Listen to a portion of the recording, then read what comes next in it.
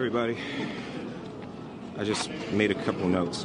Um, first of all, I want to thank my family, my friends, the incredible people of Chicago, and all over the country and the world who have prayed for me, who have supported me, who have shown me so much love. No one will ever know how much that has meant to me, and I will forever be grateful. I want you to know that not for a moment was it in vain. I've been truthful and consistent on every single level since day one. I would not be my mother's son if I was capable of one drop of what I've been accused of. This has been an incredibly difficult time, honestly, one of the worst of my entire life. But I am a man of faith, and I'm a man that has knowledge of my history, and I would not bring my family, our lives, or the movement through a fire like this. I just wouldn't.